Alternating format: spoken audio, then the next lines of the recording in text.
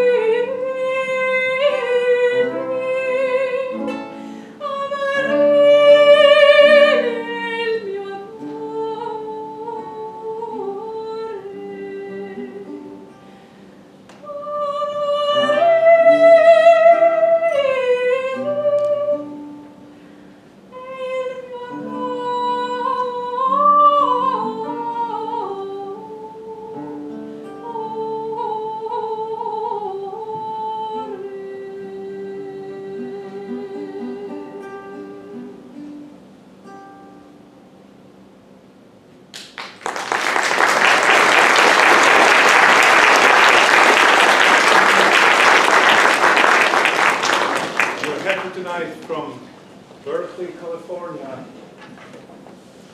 Phoebe is our guest for tonight's concert. Austin Troubadours are welcoming you to Valentine's Day concert.